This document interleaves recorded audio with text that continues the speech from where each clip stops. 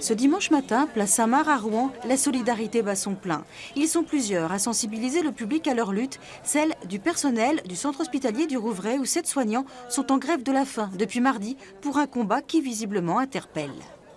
On sent quand même qu'il y a une, sensibilité par rapport aux problèmes de santé et que les gens sont conscients qu'il faudrait que le pouvoir politique donne des moyens au personnel de santé au détriment d'autres choses.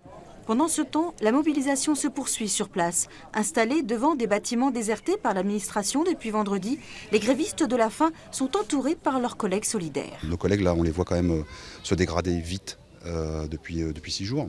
On n'est pas sur du sensationnel, hein. je crois qu'il y a vraiment quelque chose qui est posé là.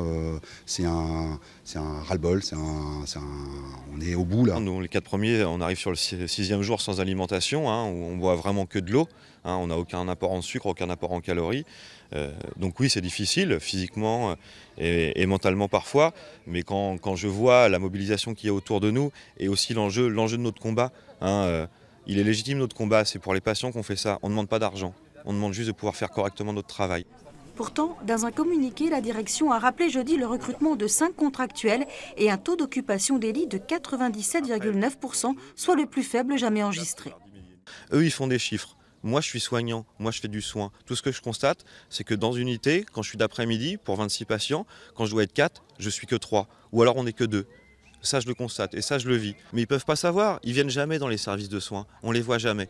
Aucune visite non plus sur place de la direction ni de la médecine du travail. Seul un comité de soutien qui s'étoffe va désormais les aider à organiser d'autres actions.